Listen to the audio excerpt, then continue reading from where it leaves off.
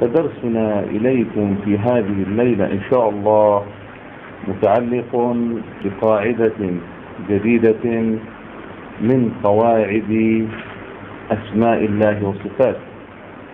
وهذه القاعدة هي أسماء الله وصفاته.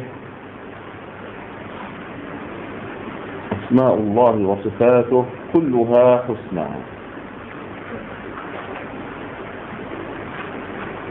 هنا قال الله تعالى ولله الأسماء الحسنى فادعوه بها وذروا الذين يلحدون في أسمائه سيجزون ما كانوا يعملون. الأعراف آية 180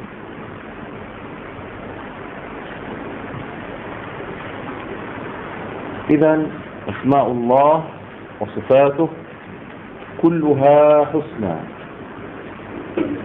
فأي اسم من أسماء الله وأي صفة من صفات الله فقد بلغت الغاية في الحسن.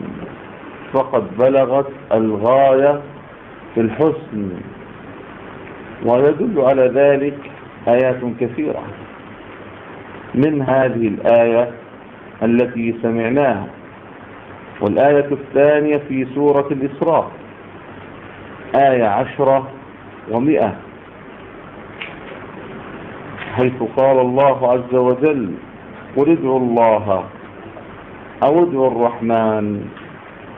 أيما تدعو فله الأسماء الحسنى.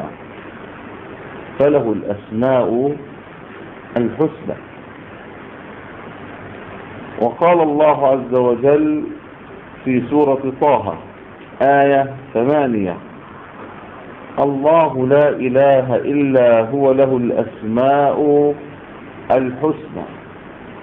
الله لا إله إلا هو له الأسماء الحسنى.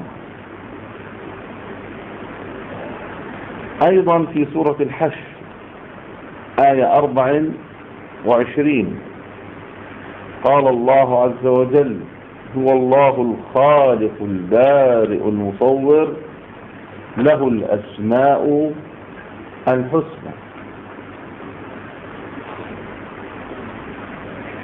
إذا هذه الآيات الصريحة